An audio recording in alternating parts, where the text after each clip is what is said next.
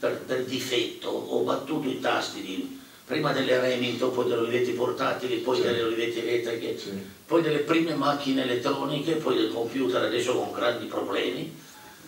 Io per difetto sono sui 155 milioni di volte. Ora dicono che se voi mettete un milione di scimmie in una radura e date a ognuna 10.000 fogli bianchi e loro fanno così, continuano a infilare, presto o tardi per composizione, combinazione delle lettere, una di loro scrive l'Amleto, un'altra scrive la Divina Commedia. Io più o meno ho fatto questo lavoro e non ho scritto niente di valido, se non una cosa che io ricordo sempre, che mi ha aperto un capitolo della mia vita particolare legato all'amicizia con Marcello Marchesi, vi dice qualcosa il signore di mezza età. Eh, Leo Chiosso, mio amico fraterno e inventore di Buscaglione, mandò a Marchesi una mia epigramma, un epigramma che avevo scritto per tutto sport al villaggio olimpico di Tokyo e che resta per me le sole quattro righe da salvare di tutta questa produzione in questa radura. Si riferiva al canottaggio, sì, al mondo del canottaggio, si intitolava Invidia e diceva semplicemente al 4 senza non far sapere che il 4 con ha il timoniere. Giampaolo Ormezzano pubblica i Cantaglorie Cosa significa questo, questo titolo, I Cantaglorie? Allora, i Cantaglorie, eh, non lo sapevo, eh? titolo scelto da, dall'attuale direttore dello sport della RAI, Gabriele Romagnoli. Sono dei, che è all'origine del libro, tra l'altro l'input lui suo, straordinario, sono dei, come posso dire, le cornici di legno antico che contengono, anziché la solita foto dello zio o della nonna, uno piccolo spartito musicale, qualche nota di inni sacri abitualmente. Mm. Questi... Cantano le glorie dei santi, dei, dei, martiri, eccetera. E qui invece si cantano le glorie degli sportivi. Sì, esattamente. Mi sembra di aver capito che è una specie di mitologia dello sport italiano degli ultimi 60 allora, anni. no, una specie di... Vista dal mio punto di vista, per me il mito mm. non esiste, i miti sono plurale di mite. Mm. Ecco.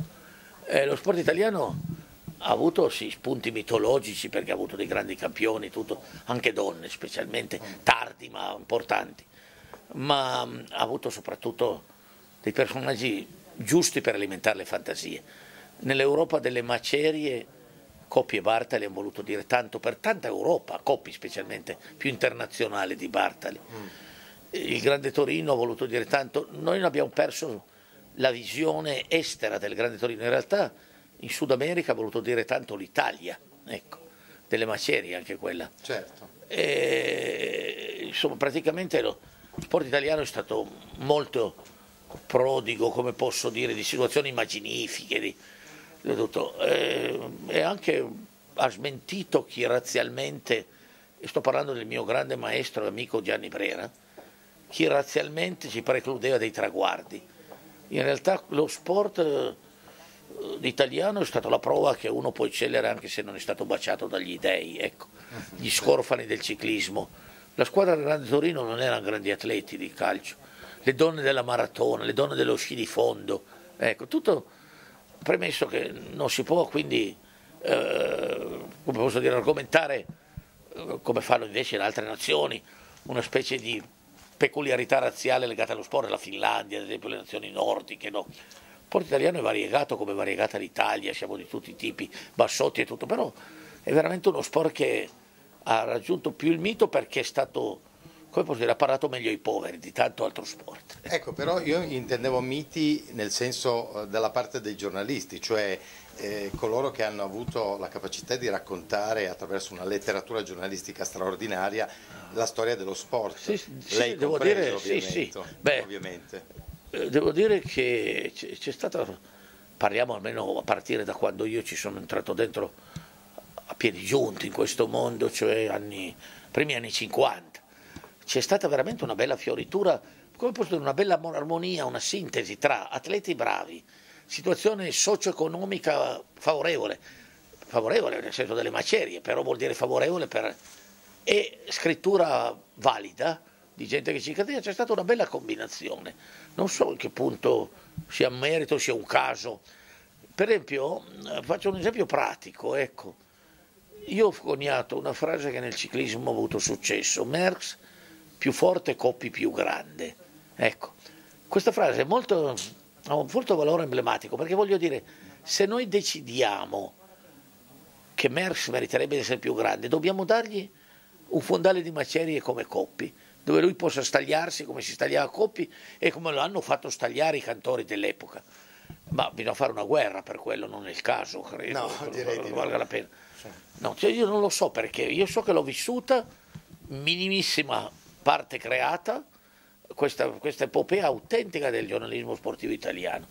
Oh, a un certo punto in Italia c'erano quattro giornali sportivi quotidiani e in tutto il resto del mondo ce n'era due. Esatto, è uno. vuol dire che c'era lettu- un pubblico affezionatissimo. Sì, sì, no, è stato, ah.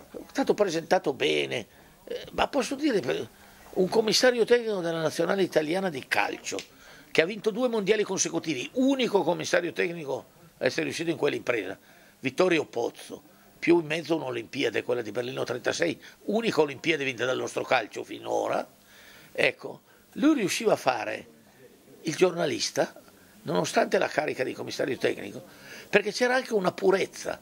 Sì, non si pensava che lui potesse approfittarne per dare a se stesso le notizie in anteprima. Poi lui, biellese cresciuto a Torino, sabaudo al massimo, vecchio alpino, magari dava a se stesso i buchi, cioè non dava le notizie per non essere tacciato di favoritismo nei riguardi di Vittorio Pozzo.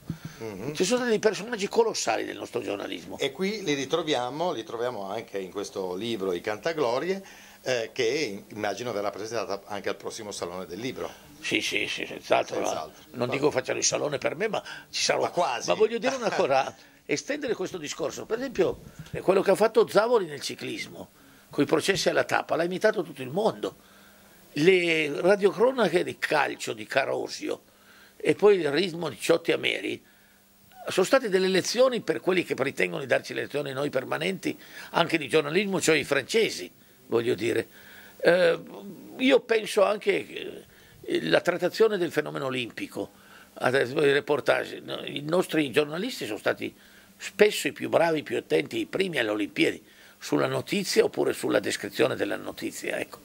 Tant'è vero che intorno agli atleti italiani, in tutte le 24 Olimpiadi che io ho seguito giornalisticamente, triste primato del mondo, greve primato del mondo, regolarmente avevamo attorno tanti giornalisti stranieri eh no, che cercavano di rubare, di carpire e di capire. Anche il nostro entusiasmo, tutto. Certo. Eh, I giri d'Italia o di Francia, eh, soprattutto di Francia che è molto più internazionale, noi giornalisti italiani siamo stati leader, uh-huh. ci guardavano cercando di imitarci, ecco. Eh, non lo so perché, però so che. Non so perché, so che. Ecco. Però è stato così. Va bene, noi ringraziamo Giampaolo Ormezzano, i Cantaglorie buona fortuna, in bocca al lupo. Io vi posso anche dire il nome della casa editrice. Provi, ci provi. 66th and second. Non ci siamo riusciti noi, c'è riuscito Giampaolo Ormezzano. Vuol dire 66esimo e secondo, certo, certo. diritti newyorkesi. Grazie. Grazie, grazie mille.